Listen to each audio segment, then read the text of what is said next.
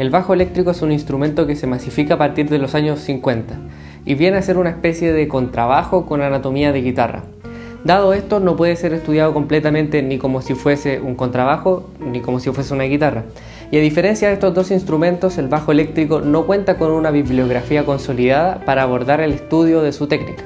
Esta fue mi principal motivación para escribir mi libro Técnica de bajo eléctrico, intentar pasar al papel todas las soluciones para los problemas técnicos que he encontrado, tanto en mi propio desarrollo como músico como junto a mis estudiantes en más de 10 años de trabajo como docente.